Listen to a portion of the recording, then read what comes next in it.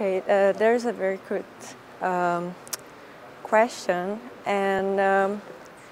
we have and we tend to think about these companies uh, governing the internet, and uh, there is this more economic side of the internet.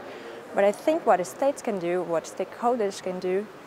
uh, is mainly focus on public-private partnerships with a responsibility share uh, within governments and companies and try to do some either legislation or standardization that can contribute for not creating monopolies in the internet.